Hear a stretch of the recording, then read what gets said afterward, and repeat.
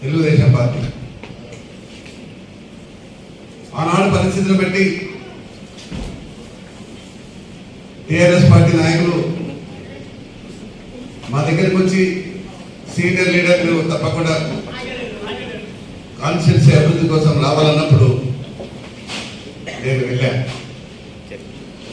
వెళ్ళిన పరిణామాలు మీరు చూశారు. శాసనసభ ఎన్నికల్లో నేను ఓడిపోయిన తర్వాత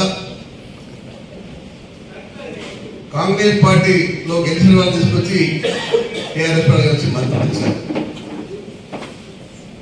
అయినా నేను సహకరించా ఐదు సంవత్సరాలు సహకరించా మళ్ళీ ఒక సంవత్సరం నాలుగు సంవత్సరాలు సహకరించా.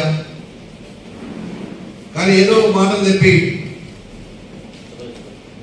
పబ్బం గడిపారు తప్ప నాకు వాల్యూ ఇవ్వలేదు. సరే అది కూడా జిల్లా పరిషత్ చైర్మన్ కూడా రోజు చేసి తీసుకున్నాం జిల్లా పరిషత్ మనం గెలిచాం. చేరుకుంటాం రాజకీయ ప్రస్తావనలో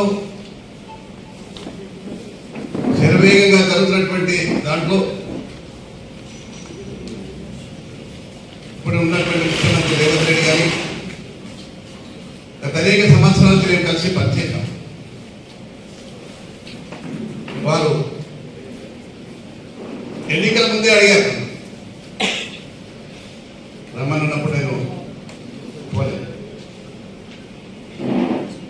అయినా వీళ్ళలో మార్పు వస్తుందేమో? ఏదైనా ఏది కన్నా గౌరవిస్తేనేమో పిలిచి మాట్లాడతానేమో అంటే మాట్లాడలేదు నేనే ఎన్నోసార్లు కల్పించుకుని పోయినా. కల్పించిన పోయినప్పుడు తప్పకుండా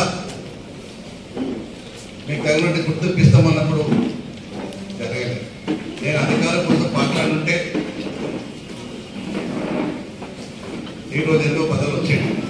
నేను ఎన్నడూ దానికి పాకలాడను పాకలాడను కూడా మీకు అందరూ తెలుసు మీకు దగ్గర నుంచి చూస్తున్నాను. అయితే ఈ వీడియో కానీ మీకు నచ్చినట్టయితే లైక్ చేయండి అలాగే సబ్స్క్రైబ్ చేయండి.